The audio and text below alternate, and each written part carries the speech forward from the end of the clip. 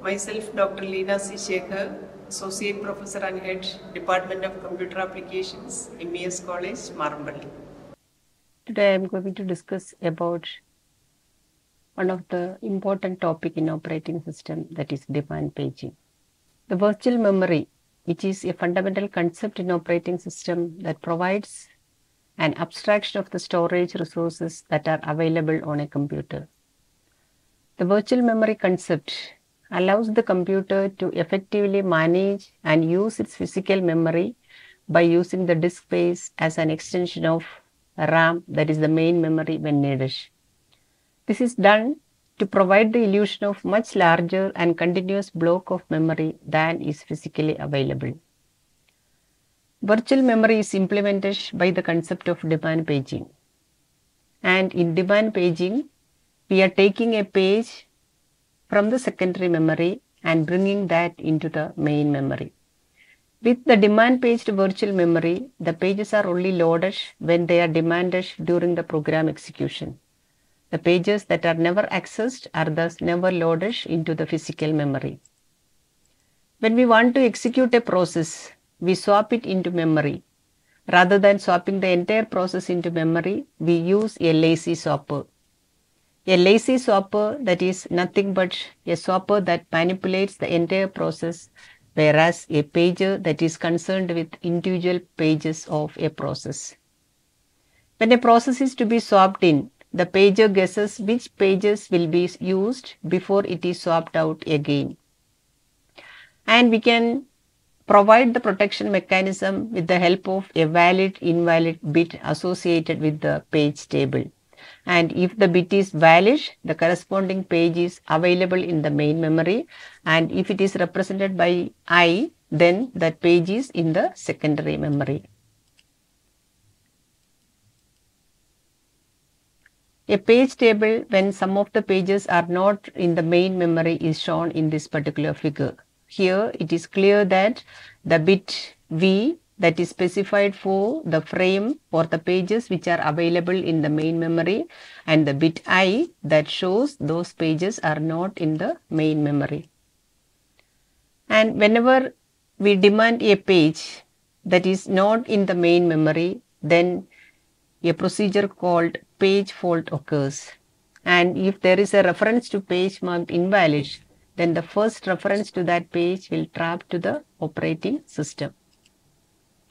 And the various steps for handling the page fault, they are initially we are checking whether that particular page is marked as valid or invalid.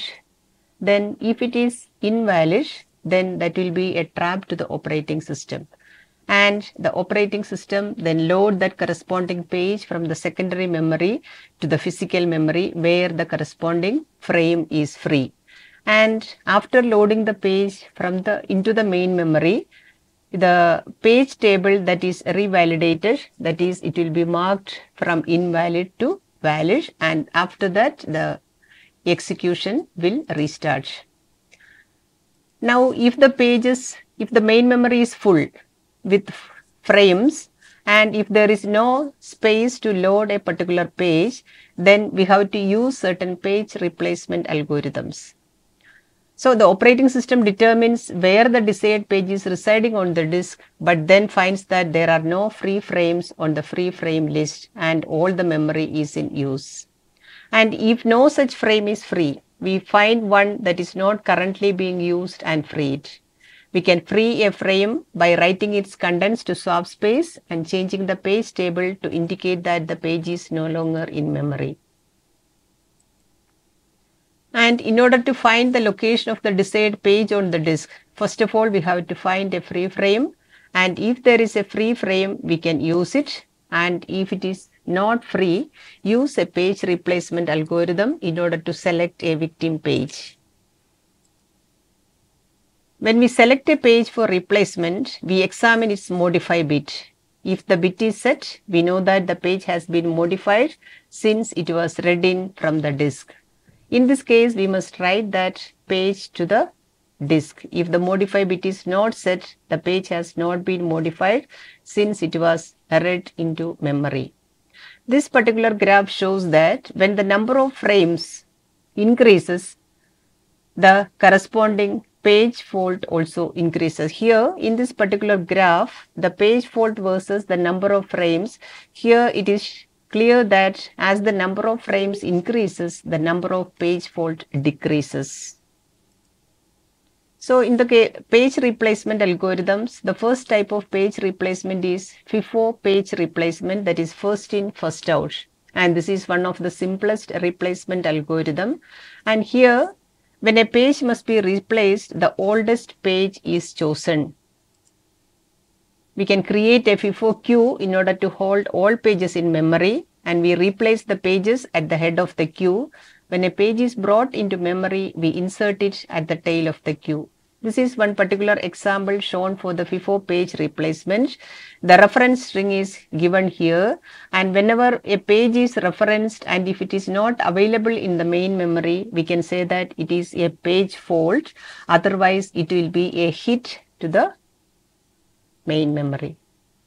Now, an alternative to this replacement algorithm, we can say that one anomaly, Belady's anomaly is there and where the page fault rate increase as the number of frames increases.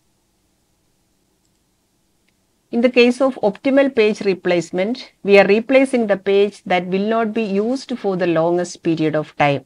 The same reference string is shown here, but the disadvantage of this optimal page replacement is that we must know the future references of a particular page. So the optimal page replacement algorithm that is used mainly for the comparison studies. And the last type of page replacement algorithm is LRU page replacement.